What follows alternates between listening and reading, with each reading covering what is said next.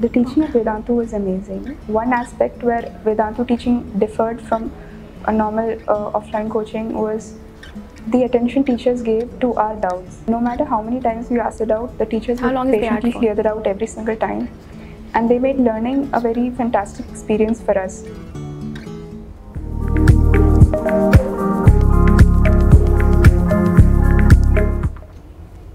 Yeah. All right. Hi, good evening, everyone. I'm Andrina, and thank you so much for joining us today. We are going to together explore the world of cell, right? Okay, as the session you already know. So let's get started. Now, before we get started, I have this really interesting thing to talk about. Okay, the other day I was walking with my friend, okay, in the beautiful park, and she turns towards me and she says, right she says ki you know how are we same or different to trees right? Very simple question. She asked me how are we same or different to trees? Right? And at that point of time i did not have an answer to her question. So what did i do? I came back home and i started thinking. All right and i was like okay i need to make a table to organize this information. So i ended up making a table but i could not complete it on time. All right so what i want you to do right now with me is to sort of help me complete the table. I can read your chat. I'm great so i can read your chat and you can tell me all your answers in the chat all right and if not then it's okay. You can freeze the screen and you can answer the table by yourself. Let's look at the table first right? Okay so this is what the table looks like. You can see on the left hand side there is me and on the right hand side there is the tree right? We can see two big circles right? Here we write all the differences. What are the differences between us and trees right? And in the middle the small section we are going to write what is similar between us and trees. All right? Uh, okay perfect. Let's see. As you can see i've already written two differences between us and trees. All right? Let's see the first one that i've written. Uh, we can walk and trees cannot walk right? I have not seen a tree in walking. All right? The second difference very common one we cannot make our own food right? But plants can make their own food using photosynthesis right? There are a few more that i know of but i would really like if you can in the chat just type quickly what exactly do you think is the difference between us and trees right? There are a couple of more that i know of. I'm quickly going to write them down. Alrighty. All right um, i know that we can talk um, and i know that trees cannot talk right? Perfect. I also know the fact that uh, we breathe in oxygen and trees breathe in carbon dioxide. So i'm going to write that. Okay. Me write that again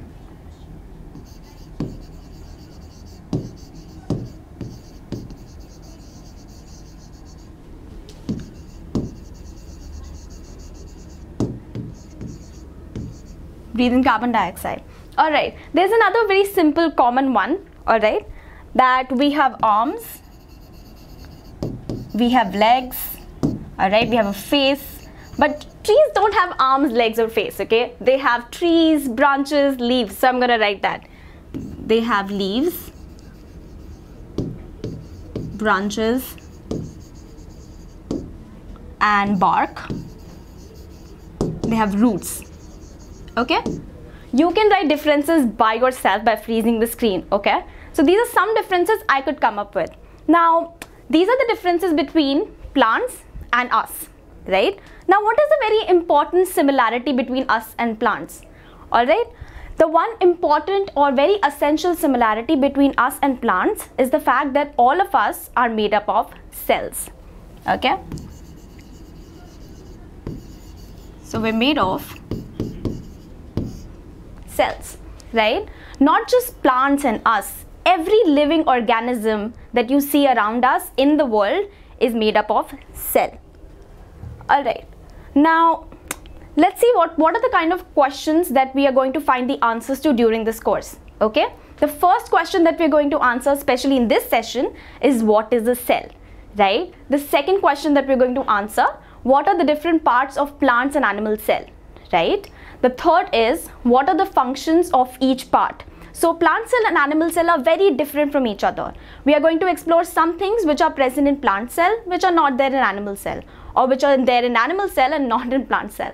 Alright. And last is we are going to explore the difference between plant cell and animal cell. Alright. Perfect. Let's go ahead. Okay. Now all of you, I'm pretty sure all of you can see the screen. I want you to tell me what is common in all these five pictures, right?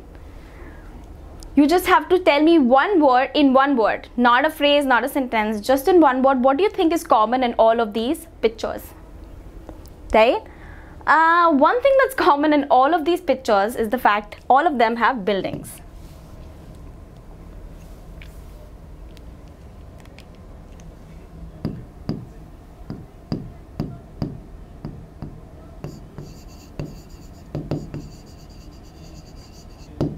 okay we can see all the pictures have buildings in them right? Now we have buildings but what are buildings made up of? Buildings are exactly made up of bricks right? So bricks are basically the basic structural unit of a building. That's what we can call it. Now have you ever seen a building with just one brick? No right? Exactly. So cells work in a similar manner right? We are made up of a lot of cells just like a building is made up of a lot of different bricks, we are made up of a lot of different cells. Now, any building that you can see, your school, your house, any building, right? You can see it not just made up of a lot of different cells, but also different shape and sizes of cells, right? So what we're going to see is that cells in our body or in plants also act a certain way, right? The number, shape and sizes of cells in us and plants also change right? Now before we get into the explanation of cells right exploring what are the, what are the number of cells that are there in us in plants or exploring what are the shape different shapes and sizes of cells in us in plants right? We have to answer a very important question. Why are we studying cells in the first place? Now i get asked this question a lot of times right why are we learning cell? Why are we learning about cell? It's such a tiny thing, right? A very simple explanation I'll give you. We live in a world, right? The world has living organisms that includes us and trees, right? Now, to understand the world, we need to understand all the living organisms in it, right? And to understand the living organisms, we need to understand what are living organisms made up of. And living organisms are made up of cell.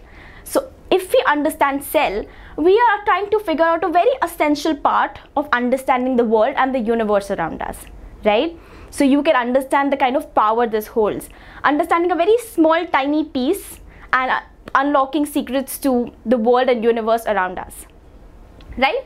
Perfect. Now, before again we move on to the explanation, we are sort of going to do Shubhana. Hi, thank you for saying that. Okay, now before we move on to the explanation, we're going to do a tiny quiz, okay? Don't get intimidated.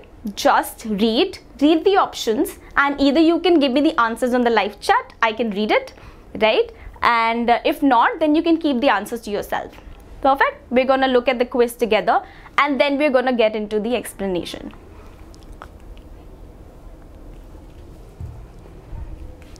Perfect. Alright, now the first question says, how many cells does human body have? Right? First is one cell, say, say option 2 says two cells, option C says hundreds of cells, and option D says billions and trillions of cells. Alright? Perfect. I am good. Thank you.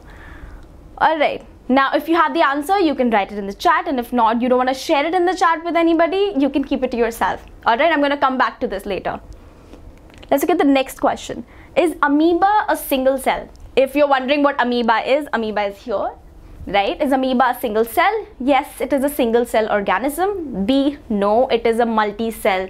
It has multiple cells. C, I have no idea. All right, I can see people have already started answering. Good job, guys. Let's look at the next one. Elephants have bigger cells than human beings. Okay, now the options you have to read very carefully. First, yes, they are bigger in size. That's why they have bigger cells. No, the size of the cell doesn't depend upon the size of the organism. And C, again, if you don't have any idea, go with the option C, right? So the question is, if the organism is big, then the size of the cell is also big. Perfect. Let's move on to the next one. Okay, cells are commonly shaped like stars. This one is my favorite because usually students get it wrong, right? So option A is yes, they are shaped like a star. Option B is like no, they're not. And option C is again, I have no idea. There's always that option. Basically, it's like you're you're getting there. We'll get you there. All right. The last one is which one of the following has more than one cell? Paramecium, um, an ostrich egg, uh, amoeba, amoeba. Remember the picture that we saw here, and D is cat. Right? Perfect. Now let's take it back to the first question that we asked ourselves. How many cells does a human body have? Alright, let's go back to the analogy that we were with just a couple of minutes ago. Have you ever seen a building with just one brick? I don't think so. No matter which building, which house, no matter which estate you go to, you will always find buildings which are made of more than one brick. Something same happens in our human body. Human body is very complex. Okay, so we cannot be made of just a single cell. We are made up of more than billions and trillions of cells, right? So option D is correct. I can see a lot of you already gave the answer D. Great job, guys. I can see all of you are thinking really smart.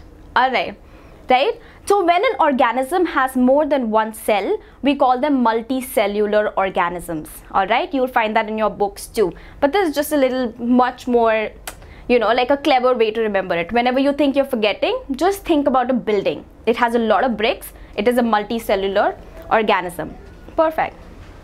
Let's move on to the next question. Is amoeba a single cell? Yes, it is a single cell organism. No, it is not. See, I have no idea. Alright. Now, amoeba, as you can see, right, you can see here. Alright, as you can see here, amoeba is in fact a single cell organism. Yes, basically all the tasks in our body that a lot of cells together do, in amoeba, only a single cell performs a lot of different tasks, right? So that's like a lot of hard work. So remember we discussed like human beings are multicellular organisms Amoeba is a unicellular organism. You can understand why, right? Because it is only one cell. So when a living organism has only one cell, it's called a unicellular organisms, right? Human beings are multicellular organisms. Perfect.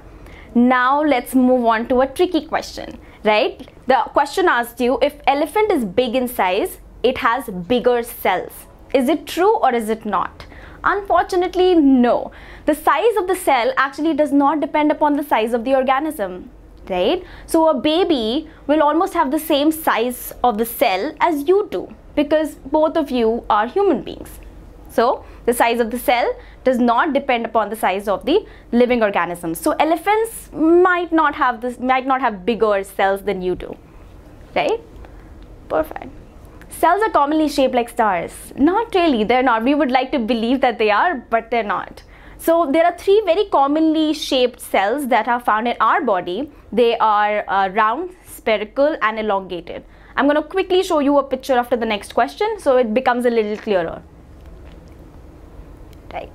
Now, which one of the following has more than one cell? This was also a trick question. Paramecium has one cell. Amoeba, as we already discussed, has one cell. Now, you'll be very surprised to know an ostrich egg also is a single cell. It's considered a single cell, right? It's actually the biggest size of cell that you can find on world in the world, right? So, last one, cat has definitely more than one cell, so that's the correct option. Good evening, Shabna. Perfect. Let's go to Alright, so we've already discussed, let's do a quick recap. We've already discussed uh, human beings are multicellular organisms. Why? Because they have more than one cell.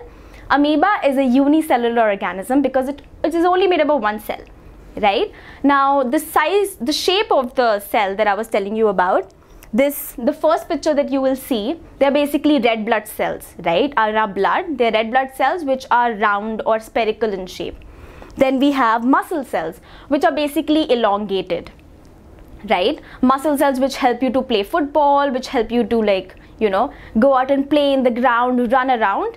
this is the this is the cell which is at work there right and the last cell neurons neurons is basically the cell which is helping you to think right now exactly at this point right so they basically pass on messages in our brain to make us learn better right so these cells are basically long thread like all right now let's again do a very very quick recap of what we've done in this session before we close it up. All right all living organisms are made up of cell right? Organisms with only one cell are known as unicellular organisms. Organisms with more than uh, organisms with one cell are known as unicellular organisms. Organisms with more than one cell are known as multicellular organisms. Exactly this is the kind of slip up that you can do in the exam. I have done it so i can tell you right now cells are usually round spherical or elongated in shape that are found in our body right and cell come in all sizes. As we've already seen, it's always very important to remember that the size of the cell does not depend upon the size of the living organism. Alright, so the elephant might not have bigger cells, bigger size cells than you do. Alright, well, that is it for today's session. I will catch, catch up with you in the next session, that's tomorrow. So we're gonna deep dive a little bit more about cell, understand different parts of cell right, for plant cells and animal cells. Well, that is it for today. Thank you so much for joining us. I'll see you tomorrow. Bye. Oh my god. Okay.